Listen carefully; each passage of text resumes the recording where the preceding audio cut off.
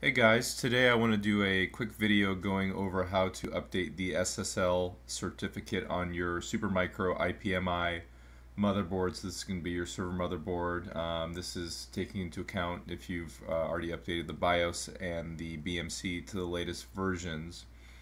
Um, a lot of the motherboards, especially if you bought a used one on like eBay or Amazon or something, is going to have a SSL certificate that's going to be expired and it's going to give you uh, an unsecure connection warning when logging into the IPMI. So just a kind of a good practice to do. I've already done mine, but I can still go over the process with you just to get this updated. So uh, you're going to want to start off with going to the IPMI address. So you can type that into just any web browser and then you're going to log in. Uh, you'll be presented with this login screen, so go ahead and log in there.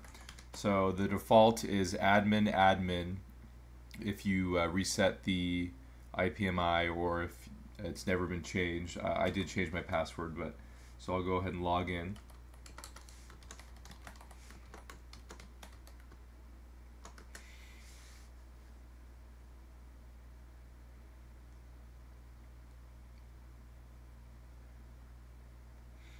Okay, and just ignore this Java pop-up here and we're going to go to configuration and SSL certific certi certification.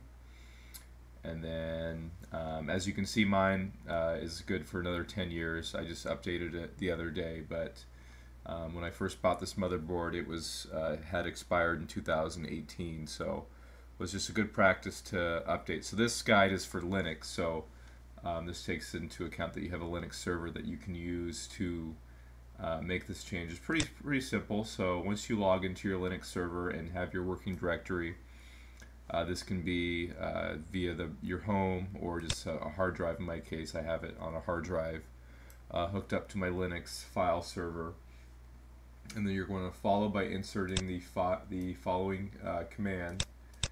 Um, uh, open SSL gen GEN RSA uh, space dash out PVT PEM and then uh, 248 for uh, or 2048 for 2048 encryption. So we'll go ahead and uh, run this command and it's going to generate our, our RSA private key. So that's all done now. And then we're going to go ahead and insert the following line. this is open, open SSL space REQ space dash new space dash key space pvt.pem space dash out space uh, crt.pem. Go ahead and run this. And then it's going to ask just for some basic uh, information. So your country name. Uh, I'm in the U.S. I'll go ahead and put that. Uh, state or province. I'm in the state of Oregon, so I'll put Oregon. Uh, look local um, name like city or etc. I'm just in the Portland area, so I'll go ahead and put that Portland. Um, organization. Uh, I'm just going to put the name of the motherboard. And mine is the XDRD X9DRD IF, so I'll go ahead and put that. And i am just going to put the same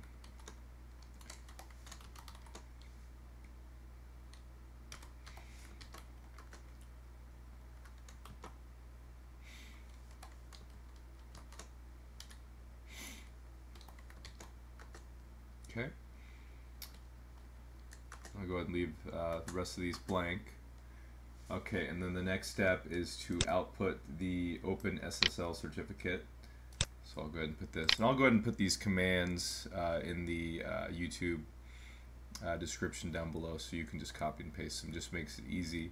Uh, the default would be about one year for 365 days. I went ahead and just set it out to be a 10 year uh, SSL key. This isn't a web-facing um, certificate. I'm not going to open up this port to uh, to the internet or the IP address for this. Uh, I do run uh, a web server off this just kind of for personal use, but no one's going to be able to see this unless they gain access to my home network, so I'm not really concerned about the length of time. Normally, you probably wouldn't want to do a 10-year certificate, but just for um, you know ease sake, I'm going to go ahead and do that. So go ahead and hit enter and then it's going to generate the keys.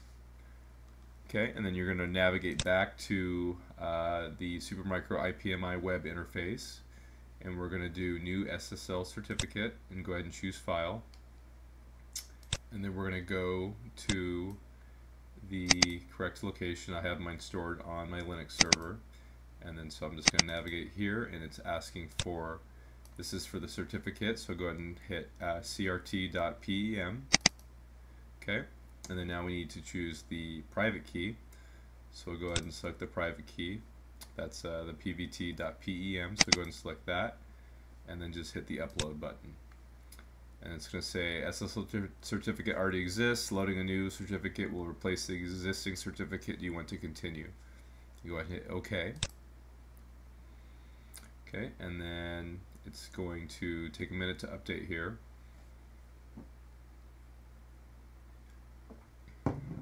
and then now I get a certificate with key was uploaded successfully. The device needs to be reset for the new certificate to be effective. Click OK if you want to reset the device. If you click OK, you'll have to reconnect to the device with a new browser session. Click cancel if you want to reset. And so if this is like a production server where you can't afford to take the system down, obviously you would uh, reset this kind of during non-business hours but in my case this is just a home server. Nobody's connected to it right now so I'll go ahead and hit OK. And the device will uh, reboot itself.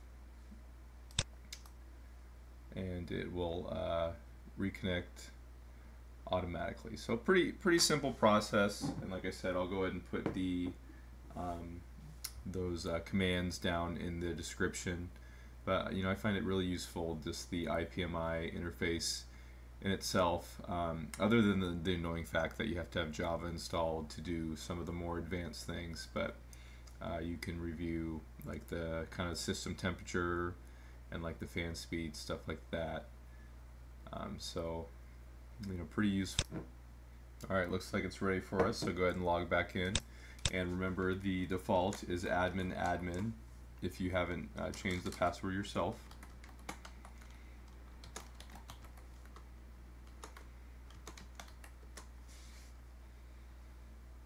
Alright, we're going to go uh, review the certificates again. So it's again configuration, uh, SSL, uh, cert uh, go cancel here, and then configuration SSL certification. And then as you can see, my certificate is now valid from 11-14, 2019 and then until 11 11 2029 so um, yeah it's nice. Uh, must be a leap year in there or something but um, yeah so find it useful you know pretty easy to update the certificate especially have Linux you can do the same uh, on other operating systems or Windows um, but this guide is just specifically for like Linux. I used Ubuntu but this should work on uh, other versions but I hope you found this video useful and go ahead and uh, give this video a thumbs up and make sure to subscribe. Thanks